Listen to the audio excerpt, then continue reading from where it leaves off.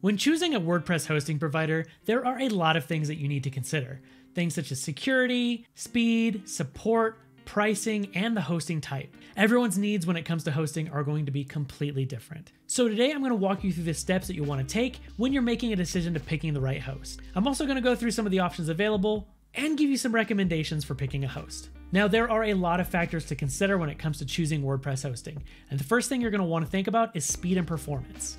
This is crucial, and honestly, the short way to put this is a faster website is going to make your customers and Google happy. Most of Google's core web vitals are based on your site's performance. So, this means that choosing a hosting provider that focuses on speed is essential. You'll want to look for a host that offers features such as object caching, a free CDN, support for the latest versions of MySQL and PHP, and any other speed boosting features that will help your site rank higher. Now, speed and performance aren't the only things you want to look for. Another very important thing when it comes to your host is the security features that they offer. Having good security measures in place is super important for your website, and this is how you protect yourself from things such as hackers. When you're researching hosting partners, ensure that they offer things like free SSL certificates, web application firewalls, known as WAF, malware scanning, DDoS protection, and the ability to back up and restore your site should something go wrong. Now, after security is taken care of, another thing that you want to think about when you're choosing your web host is scalability. When you're looking at hosting providers, one thing to keep in mind is the big picture for your site. Not necessarily where you are right now, but where you want to be in the future as well. While your business is new, it may be tempting to just pick the cheapest hosting provider you can, but think about where your business is going to go in the future. As your business grows, so will your needs, so making sure that your host is scalable is very important. Now, another thing you're going to want to keep in mind is its ease of use. Whether you're new to WordPress or a seasoned professional, having a dashboard that's easy to navigate is essential for having a host that makes you happy. Most WordPress hosts offer cPanel or something similar to navigate the server settings. For example, SiteGround uses a proprietary Site Tools dashboard that allows you to access the file manager, manage FTP accounts, access MySQL and PHPMyAdmin, and so much more.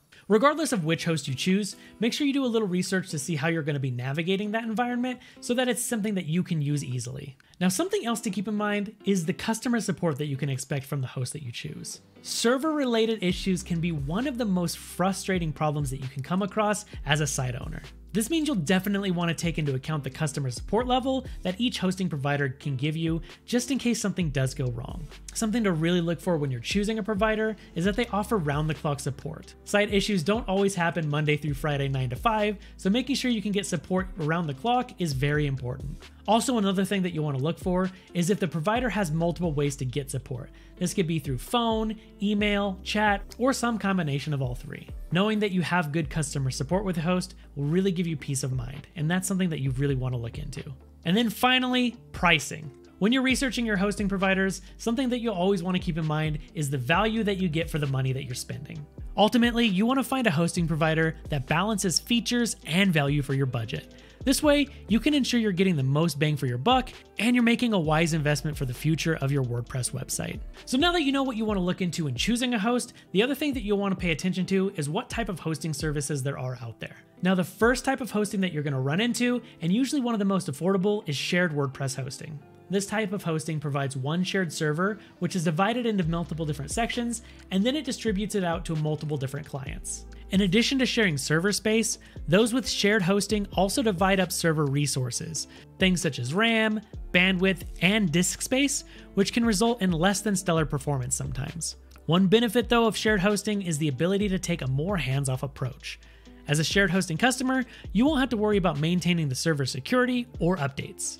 But the downside is that share hosting is slower, making it suited for those who have small informational websites or blogs.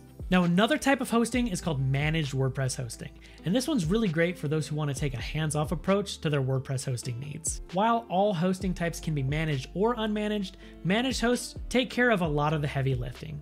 This includes things like server patching, maintenance, and updates. They also implement specialized server settings to enhance your WordPress site's speed and performance. Managed hosting is great for site owners who want the best for their sites, but lack the time or expertise to maintain them personally. However, there is a trade off with managed hosting, and that's that freedom to choose plugins may be limited, as managed providers have a list of disallowed plugins. That said, these restrictions are usually in place because the host offers settings to control caching, image compression, and other performance enhancing features. Now, the next type of hosting is dedicated WordPress hosting. And this is going to be usually for larger agencies and businesses who want a server that they're going to maintain themselves. Dedicated hosting allows you to lease an entire server for yourself with dedicated resources exclusively used just for your site. The main benefit of this, of course, is not having to share your server's resources with other clients. You'll generally get the highest performing server with excellent security features, but you'll be responsible for troubleshooting any errors that arise.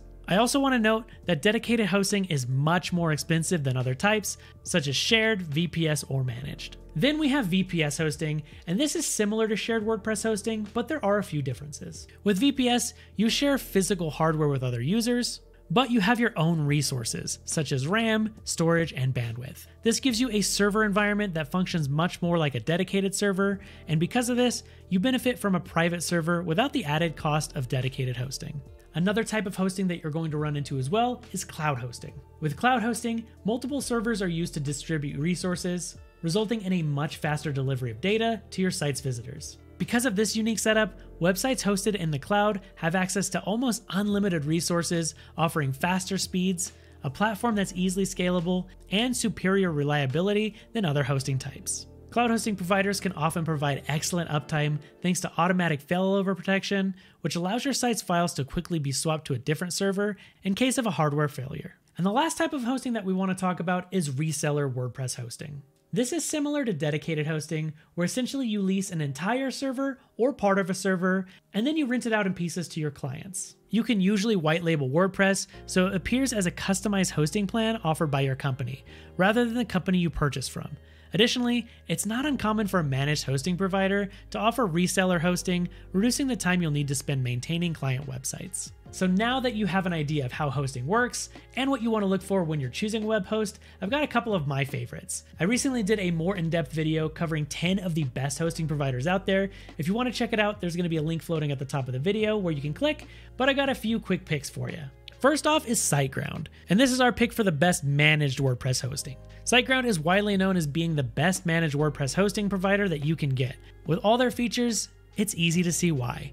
You'll get a huge speed bump thanks to its cloud based infrastructure, free website migrations, an SSL certificate, CDN, email, WP-CLI, SSH, and FTP access, excellent caching capabilities through SG Optimizer, and so much more.